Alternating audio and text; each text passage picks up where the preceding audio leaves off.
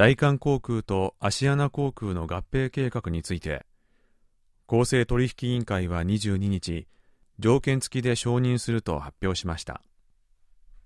コートリーは審査の結果両社が合併された場合国内外で重複する路線87本のうち国際線26本と国内線14本の合わせて40本の路線で自由な競争が制限される懸念があると判断しました。このためこのうち34本の路線は今後10年間新規の航空会社が参入したり従来の航空会社が路線を拡大したりする場合両社の持つ空港施設の利用権限を一定水準返納するように求めました。